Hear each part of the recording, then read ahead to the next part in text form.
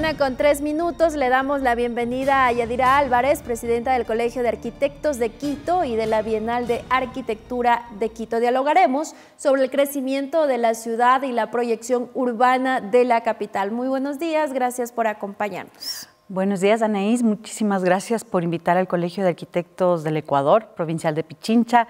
Es para mí un gusto poder compartir aquí unas opiniones eh, en representación mía, de los agremiados y de María Samaniego, que es la presidenta. ¿Cómo eh, Yadira ha crecido en lo urbano, la capital del Ecuador?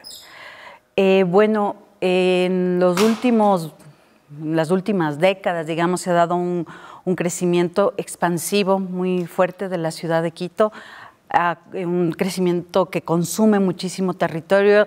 Hemos visto que además de la consolidación, o sea, del Valle Central, tenemos todo el desarrollo hacia el, arco oriental, de los valles, entonces hay un, esquema de crecimiento que consume mucho territorio y creo que es una de las grandes preocupaciones, por un lado, de la planificación urbana ha sido o, debería ser, y, creo que también ahora mismo en esta discusión eh, sobre el sobre la posible influencia del metro como un catalizador de unas dinámicas urbano-territoriales en, el Valle Central, se abre como una, importante posibilidad en, el desarrollo urbano de la ciudad. ¿Qué fue lo que durante décadas atrás motivó para este impulso y crecimiento urbanístico en la ciudad? Em, bueno, yo creo que la, la ciudad ha tenido arrancó por un, crecimiento radial, digamos, luego se volvió lineal y poco a poco, digamos, dada la... Ha habido, han habido planes, yo, yo quisiera también contar o comentar eso, no, no creo que haya habido una ausencia de planificación, sobre todo en lo que se refiere a la, al valle central de la ciudad. Han habido una serie de planes desde hace muchísimo tiempo. Eh, sin embargo, sí que se ha dado una, por una serie de, aspiraciones sobre, sobre qué es lo que, cómo aspira a vivir la gente, se ha dado un, crecimiento muy fuerte hacia los valles, hacia las laderas también, que son tal vez algunas de las problemáticas que, debemos atender en este momento. Precisamente algunos expertos hablan de un crecimiento desordenado que se ha realizado por esto de las quebradas, hay urbanizaciones que incluso familias enteras están en riesgo de perder sus viviendas. Bueno, en América Latina en general, eh, y Quito no es una excepción, hay un desarrollo y un crecimiento informal muy alto. En nuestro caso hay zonas de laderas, zonas de, de, alta vulnerabilidad que han sido ocupadas como espacio de, urbanización, espacio de desarrollo, asentamientos informales y asentamientos formales también. Entonces creo que ya desde hace décadas también se ha, identificado este problema. En algunos gobiernos municipales ha habido una mayor eh, decisión política y gestión para trabajar, mitigar estos riesgos, en otras bastante menos, ¿no? También ahí, eh, si bien hemos tenido eh, algunas gestiones en los últimos 25 años, gestiones positivas con la ciudad, también hemos tenido en las últimas, las últimas gestiones han sido lamentables, digamos, y han dejado a un Quito necesitado de una serie de acciones eh, para su vida presente y futura. Eso sería lo negativo, pero ¿qué es lo positivo o lo que podemos destacar de este crecimiento urbanístico de la capital? Lo positivo, yo creo que hay muchas cosas positivas también y creo que es una, es importante remarcar eso. Tenemos, por ejemplo, ahora mismo el metro. Yo creo que el metro es el, que se haya puesto en funcionamiento finalmente nos abre una serie de posibilidades eh, creo que puede haber un, que puede ser el detonador de unos proyectos urbanos integrales que eh, precisamente visibilicen a la ciudadanía en general, a todos quienes hacemos Quito, las posibilidades que tiene la ciudad central, la ciudad compacta, la ciudad servida, la ciudad en la que se tiene acceso a transporte, a equipamientos, a servicios. Entonces creo que, que esa discusión hay, hay, que ponerla ¿no? sobre la mesa porque es la, vida de todos los ciudadanos, todos los que hacemos Quito y a todos los que nos pertenece ahora mismo el metro. Em, hace más de 25 años, poco más de 25 años, hace unos 28 años, eh, se inauguró el, Met, el trole. Entonces yo creo que en ese momento representó un impacto positivo muy grande para la movilidad, para la calidad de vida de los ciudadanos. El salto que se está dando ahora o que se puede dar a partir de una adecuada gestión, operación y de, la ciudad, considerando que tenemos el metro ya, eh, creo que, nos abre muchísimos temas positivos, ¿no? optimistas. Tenemos nuestro centro histórico de Quito, el centro histórico de Quito ha sido siempre un, gran valor de nuestra ciudad, eh, no solo de nuestra ciudad, de nuestro país, creo. Entonces creo que su adecuada conservación, el poder eh, orientar políticas de vivienda eh, fuertes que nos permitan mantener sus niveles de residencialidad, hacerle parte de la vida cotidiana, ¿no? de la vida de la vida presente. El centro histórico no es solo pasado, no es solo memoria, es, un, es, un, es ciudad. Entonces creo que es ciudad y es una bellísima ciudad y creo que de la que todos podemos sentirnos orgullosos.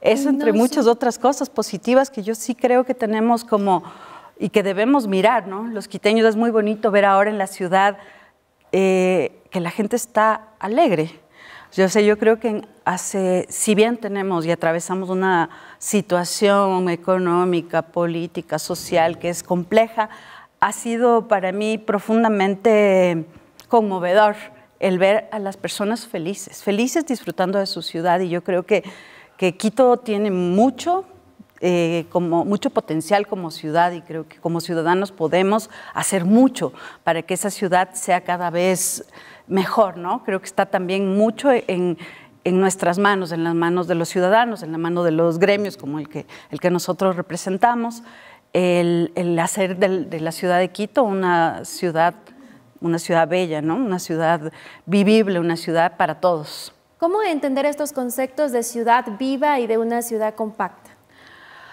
La ciudad compacta se refiere eh, a, nosotros, como, habíamos, como había mencionado, tenemos un desarrollo que consume muchísimo territorio. Entonces, eh, y tenemos una ciudad servida, que es el valle central de la ciudad.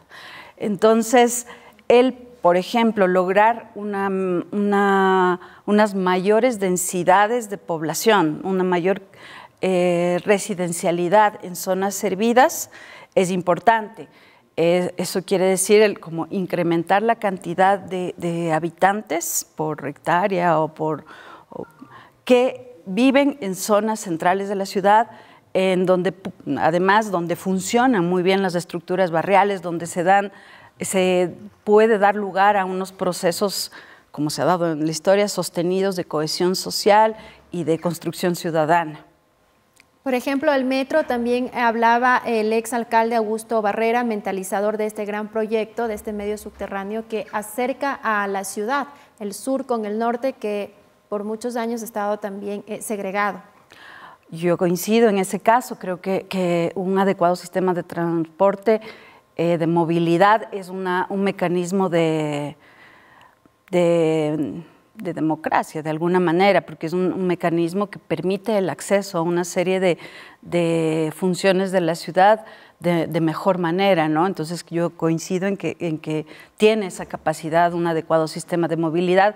Hay muchos retos todavía. El metro es un, potente dinamizador, como hemos, mencionado, pero también creo que hay cosas que están eh, pendientes, ¿no? Tenemos todos unos, unos sistemas eh, de integración, como el mismo Augusto Barrera ha mencionado en una serie de entrevistas, de integración física de los distintos modos de, transporte, eh, de movilidad, y también tenemos la integración tarifaria, o sea, digamos, si bien se ha dado unos pasos importantes, creo que en, corto plazo se pueden dar una serie de pasos adicionales que pueden garantizar un, mayor impacto de, este, de este sistema que ya está en funcionamiento. Recordemos un poco también el aeropuerto de Quito, que estaba acá en la ciudad en el centro de la ciudad, se podría decir en el norte, pero ahora, bueno, está en una parroquia alejada un poco de la, del movimiento de la ciudad. ¿Qué ha pasado con ese traslado? Bueno, por un lado, tenemos un, aeropuerto que funciona adecuadamente. Fue igual que muchos otros grandes proyectos de ciudad, fruto del trabajo de algunas administraciones, el que logremos tener las instalaciones del aeropuerto, las vías de acceso, eh, pero también a la vez existen estos, estos espacios que han dejado de tener un uso en la ciudad. Eh, es el caso, por ejemplo, del, antiguo aeropuerto Mariscal Sucre, el caso de la estación de la Y. Entonces yo creo que nuevamente eh, podemos tener una mirada optimista sobre, esas sobre esos espacios. Son espacios centrales, espacios que pueden ser reciclados con funciones, eh, funciones complementarias a los entornos próximos.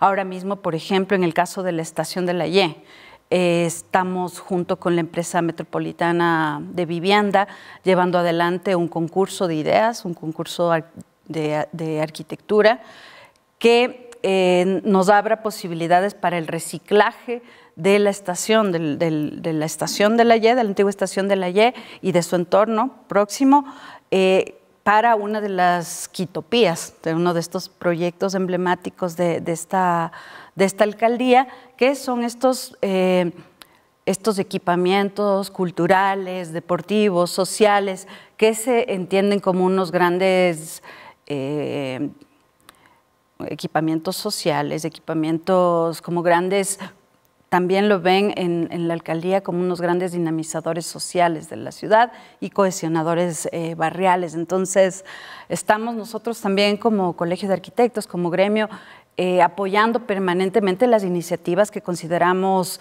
pueden contribuir a un mejor desarrollo de la ciudad. Muchísimas gracias, Yadira, por este importante diálogo informativo acerca del crecimiento urbanístico de Quito.